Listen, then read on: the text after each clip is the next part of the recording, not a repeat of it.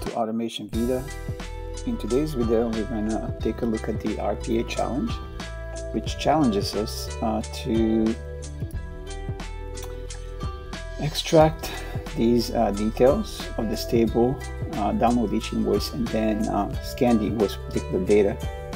We'll do part one of that today, which is basically just extract the table and download each invoice. Um, let's get started. So one of the first things we're going to do is click to open a new Microsoft Edge. And I always like to open my browsers in maximized.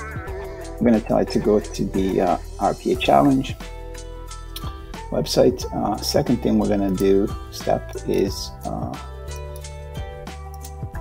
uh extract the data from the uh, website itself. So there's the website and let's go ahead and give it a um,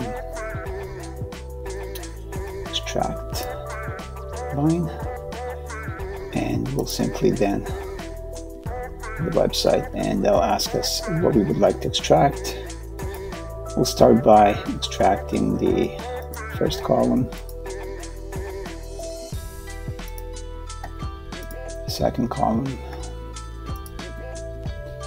and the third column. I'm not going to bother doing the fourth one and I'll explain why in a minute. So that's good. So let's go and run it and see what that does.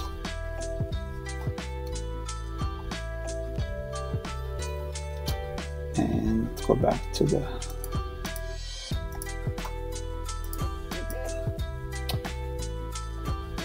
workflow and we can see that it exported four columns. Uh, the next step will be to loop through those uh, items. So we'll do a loop command. I'm going to stay, this starts at, I'm to start at one. I'm to end at, um, are four, uh, four rows.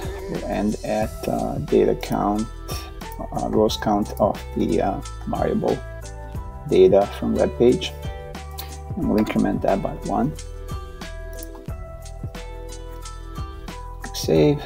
Uh, next, we'll simply click on uh, each image in the table here. So we'll click on one of these uh, images. So let's go and do that. Uh, and we'll say add an IUI element.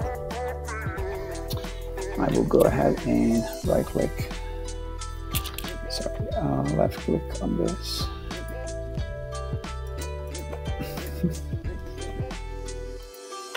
to add that. Now the challenge now is that um, this will click on the first one, but it will then uh, fail. It won't go to the other ones. So let's go and see that.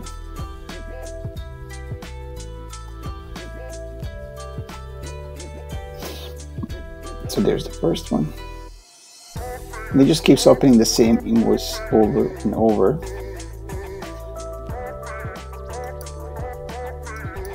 As you can see, which means it's looping through the line items, through the rows, but opening the same invoice over and over. And that's because it doesn't know how to go to the next one.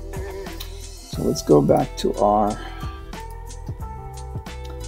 our automate, and uh, we're going to take a look at that uh, UI element. And uh, I'll switch that to text editor. And you can see it's just opening the very first one. Uh, so let's go and investigate, see what we can do here. So uh, let's go ahead and open our developer tool and investigate, see what's going on there. So we'll go ahead and uh, click on the first image here and we'll uh, copy this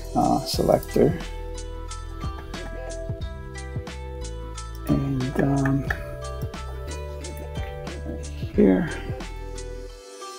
selector it is. You can see that this is uh, row one, fourth column. Um, so you would think the next one would be um, row two, column four. So we'll click on that. Oops. And uh, copy the selector here as well. And it does exactly what I think it would do. So um, right here, you can see that the first row, fourth column, second row, fourth column. So what we need to do is uh, copy one of these, copy one of these, uh, navigate back to our selector, to our element, drop it here, and uh, tell it to increase this one row number each time it goes to the loop. So loop index, because the loop index is going to change increase by one every time it goes to the loop. So let's go and click save.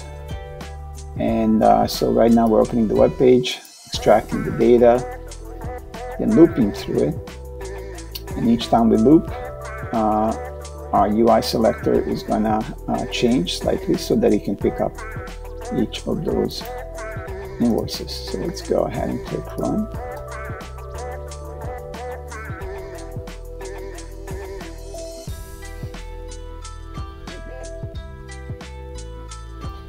There's the first invoice, second invoice, third invoice, and uh, fourth invoice. So we were able to loop through all four invoices and uh, download. And so that'll be it for today. That's the uh, RPA challenge. Uh, please uh, don't forget to follow us, subscribe, and we'll see you next time. Thank you.